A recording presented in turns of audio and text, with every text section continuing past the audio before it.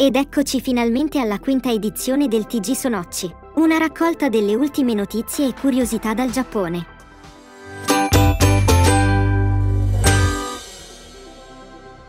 Per festeggiare l'arrivo di Halloween, a Tokyo dal 24 ottobre al 16 novembre sarà possibile prenotare un taxi a tema Sadako, la famosissima ragazza fantasma del film The Ring.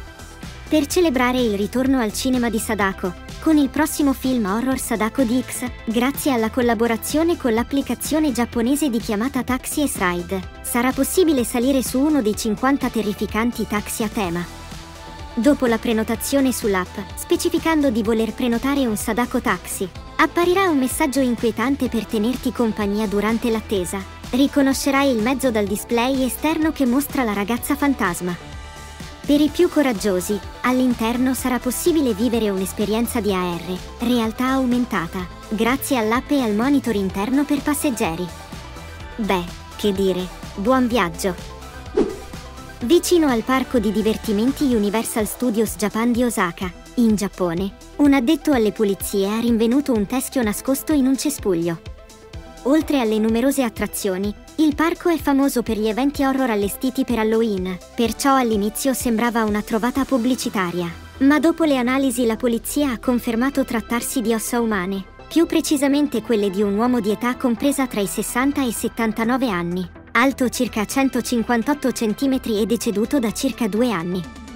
Purtroppo questo giro sembra proprio non si tratti di uno scherzetto.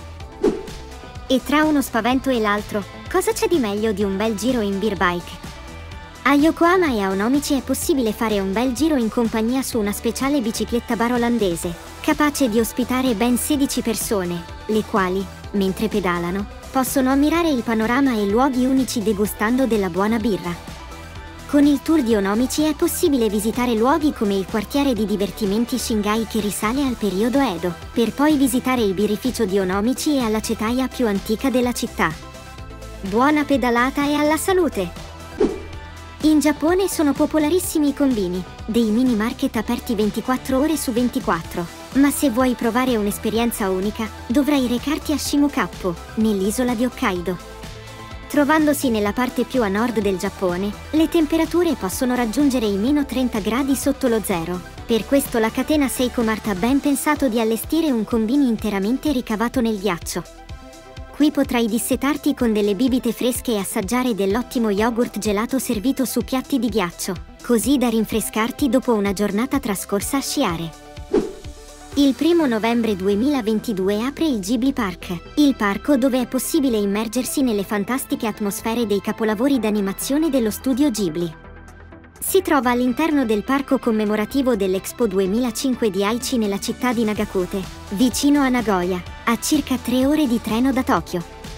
Al momento dell'inaugurazione saranno presenti tre delle cinque attrazioni previste, distribuite in ampie aree all'aperto, in linea con l'importanza della natura trasmesse nelle opere dello studio Ghibli. Scommetto che sarà una bella esperienza, non vedo l'ora di visitarlo. E anche per oggi è tutto. Se ancora non l'hai fatto iscriviti al canale e attiva la campanella, così non perderai le ultime curiosità dal Giappone. Un saluto da Sonocci!